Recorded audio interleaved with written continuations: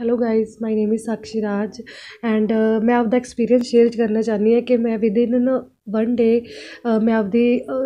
ਵਧੀਆ ਤੋਂ ਵਧੀਆ job Bala ji job placement ਤੋਂ ਪ੍ਰਾਪਤ ਕੀਤੀ ਐਕਸਪਰਟ ਇਮੀਗ੍ਰੇਸ਼ਨ 'ਚ ਐਜ਼ ਏ ਵੀਜ਼ਾ ਕਾਉਂਸਲਰ ਅਤੇ ਹੁਣ ਮੈਨੂੰ ਵਨ ਮੰਥ ਬਾਅਦ ਮੈਨੂੰ ਵਧੀਆ ਗਿਫਟ ਅਤੇ ਮੈਂ ਆਪਦੇ ਪਰੂਫ